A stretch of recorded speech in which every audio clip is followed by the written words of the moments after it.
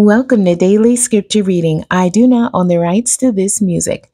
Genesis chapter 40. This is the New King James Version.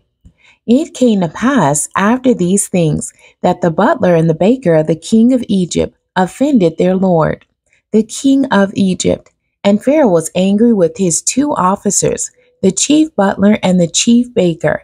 So he put them in custody in the house of the captain of the guard, in the prison the place where Joseph was confined, and the captain of the guard charged Joseph with them, and he served them, so they were in custody for a while.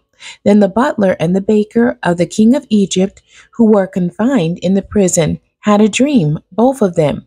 Each man's dream in one night, and each man's dream with its own interpretation. And Joseph came in to them in the morning and looked at them and saw that they were sad. So he asked Pharaoh's officers who were with him in the custody of his Lord's house, saying, Why do you look so sad today? And they said to him, We have, we each have had a dream, and there is no interpreter of it. So Joseph said to them, Do not interpretations belong to God? Tell them to me, please. Then the chief butler told his dream to Joseph and said to him, Behold, in my dream a vine was before me, and in the vine were three branches. It was as though it budded, its blossoms shot forth, and its clusters brought forth ripe grapes.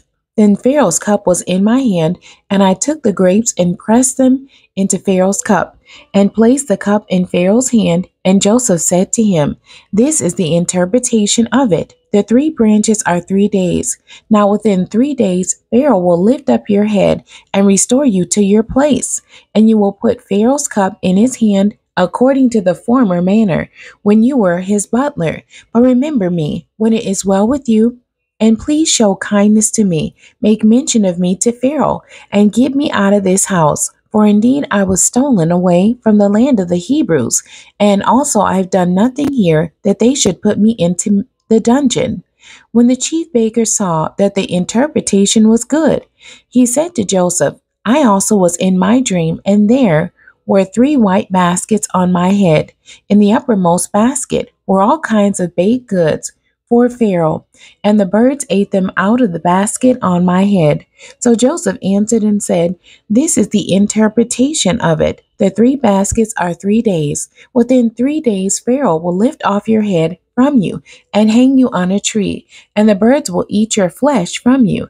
Now it came to pass on the third day, which was Pharaoh's birthday, that he made a feast for all his servants. And he lifted up the head of the chief butler and of the chief baker among his servants. Then he restored the chief butler to his butlership again, and he placed the cup in Pharaoh's hand. But he hanged the chief baker as Joseph had interpreted them. Yet the chief butler did not remember Joseph, but forgot him. The end. God bless you and thank you for joining me today.